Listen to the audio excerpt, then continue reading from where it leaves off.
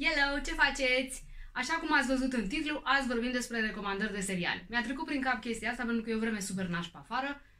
Bine, depinde. O să ies acum așa să vedem că la etajul meu poate e mai nașpa decât e jos, n-am idee.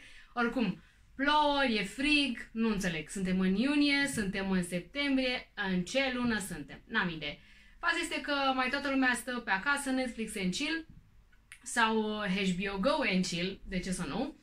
Și să nu uităm că articolul cu recomandări de seriale de pe blogul meu este chiar cel mai citit din toată cariera mea de blogger. Deci e pe locul întâi în continuu, asta pentru că e foarte bine indexat în uh, Google și m-am gândit să vă spun și vouă câteva seriale din articol. O să las linkul în comentarii și în descrierea de pe YouTube. Să vă las câteva seriale pe care eu le recomand și care mi-au plăcut foarte mult și să vedem ce părere aveți și voi. So, clasicul Game of Thrones. Recunosc că au fost vreo cam 3 sau 4 ani în care am refuzat complet să văd acest serial. Eram... Nu, eu nu mă uit la ce se uită toată lumea, până în momentul în care i-am dat drumul. Mhm, a urmat niște săptămâni de foc. Downton Abbey este foarte mișto din punctul meu de vedere, e britanic, I love that accent, I really love that.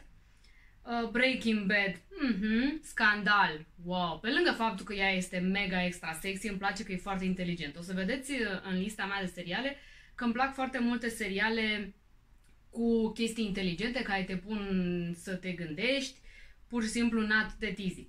Prison Break, dar să, zi, să știți că nu și ăsta actualul, nu ăsta recent a apărut de curând, și alea vechi mi-au plăcut foarte mult. Lie to Me, oh my god, mi-e dor de Lie to Me. Chiar, dacă aș avea timp, l-aș revedea. House of Cards, logic, de ce să nu? Multă lume n-a văzut The Newsroom. Dacă vă place jurnalismul, dacă vă place presa, dacă vă place investigația, ar trebui să-l vedeți. Este foarte, foarte mișto. Apoi, uh, Person of Interest e tot în ideea asta, așa, super inteligent și te pune să te gândești la diverse lucruri. Orange is the New Black. Mie îmi place yellow, galben, dar Orange is the New Black. Foarte tare serialul, foarte comic. Um, hai să vedem. Pe aici Um, hmm, hmm. White collar, doar pentru că, să zicem, el este un escroc mega extra sexy și mișto, să zicem. Iar The Catch, pentru că ea este super extra sexy și mișto. Uh, episodul ăsta clar nu o să aibă doar 3 minute, dar The Crown e la modă, de ce să nu? Dacă tot ne place cu regina și cu nunțile regale, ar trebui să vedeți The Crown, mi-a plăcut foarte, foarte mult.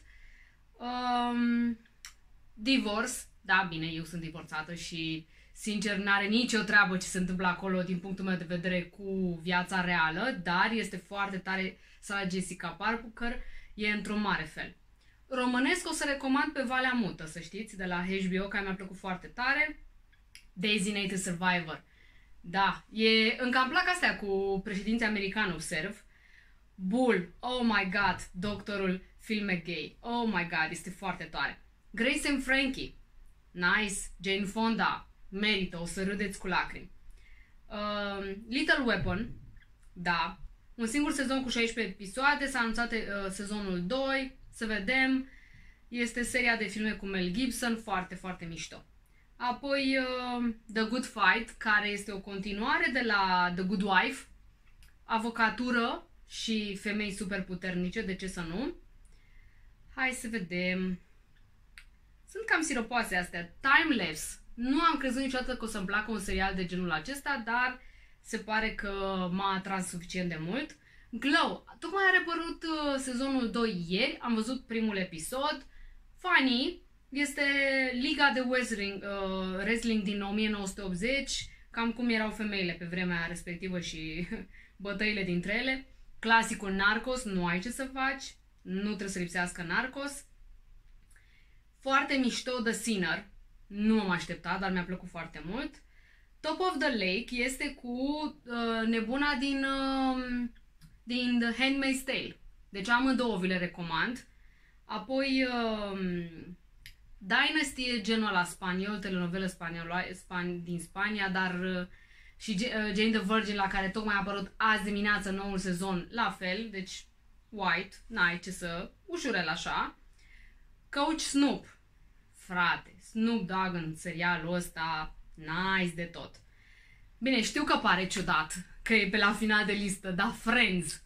La fel, l-am văzut anul acesta pe 1 ianuarie când a apărut pe Netflix, pentru că la fel nu am avut niciodată timp să-l văd cap-coadă. L-am văzut. Acum, uh, pentru fani, știu că pare ciudat, dar pe Netflix este seria The Adventures of uh, Puss in Boots. Frate, este mega extra funny. N-am ce să vă zic. Și pentru asta am meritat să depășesc cu mult cele 3 minute. Uh, Grand Hotel e din seria aia de telenovelă Hotel uh, Spania și alte de-astea. 1905 acțiunea. Mie mi-a plăcut. Handmaid's Tale, am spus mai devreme, nu am cum să ratez. Este foarte, foarte puternic, foarte dur. Se lasă cu lacrimi, se lasă cu șoc. E wow. Bates Motel nu am crezut că o să-mi placă foarte mult, dar l-am urmărit. Este uh, prequel al filmului din uh, Psycho din 1960. Hmm, Hitchcock, chestii, way. Ha, uh, Money Heist, wow, ăsta și nu știu pe unde este, la Casa del Papel. Da, nice de tot, foarte nice. De fapt, știu că am zis o prostie, că este același lucru. Money Heist la Casa del Papel. M-au nebunit traducerile astea, nu mai înțeleg nimic din ele. Uh, The Rain, la fel, șocant, primul serial danez, marca Netflix, are un singur sezon, dar este super extra tare.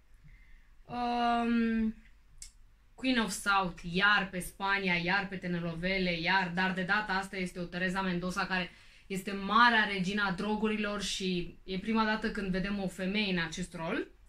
Și cam asta ar fi din partea mea.